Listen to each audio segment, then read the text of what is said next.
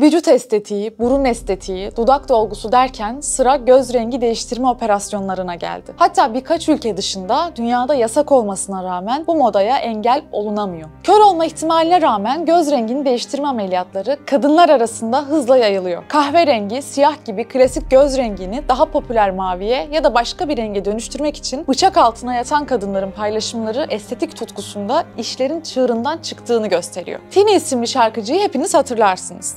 2014 yılında yaptırdığı göz rengi değiştirme ameliyatı da o dönem çokça konuşulmuştu. Bir süredir yapılan bu operasyon sosyal medyada da aynı videoyla tekrar gündeme geldi. Bu ameliyatta korneanızın kesilerek açılması ve ardından irisinizin üzerine kalıcı bir implant yerleştirilmesi gerekir. Aslında Hindistan ve Kolombiya dışında her yerde yasa dışı. Çünkü bu ameliyatı geçiren neredeyse herkes kör oldu. Evet doğru duydunuz. Geçici bir körlükten ya da düşük bir görme kaybından bahsetmiyorum. Aslında şarkıcı Tini de kör olduktan sonra herkesi uyarmaya çalıştı. Arjantinli model Nadine Bruna göz rengini değiştirmek için Bright Oculor adlı bir şirket aracılığıyla iris implantlarıyla birlikte göz rengini maviye çevirdi. Kısa süre sonra implantları çıkarmak zorunda kaldı. Çünkü glokom hastasıydı. Kornea nakli olması gerekiyordu. Operasyonu Eylül 2016'da yaptıran Nadine Bruna'nın gözlerindeki hasarın geri dönüşünün olmadığı açıklandı. Artık 90 yaşında birinin görme yetisine sahip. Göz rengini değiştiren lensler bile tavsiye edilmiyorken renk değiştirme estetiği için iki kere düşünmekte fayda var. Bu tür içeriklerin devamı için beğenmeyi ve paylaşmayı unutmayın. Mavi Kadın.com içeriklerini takip edin.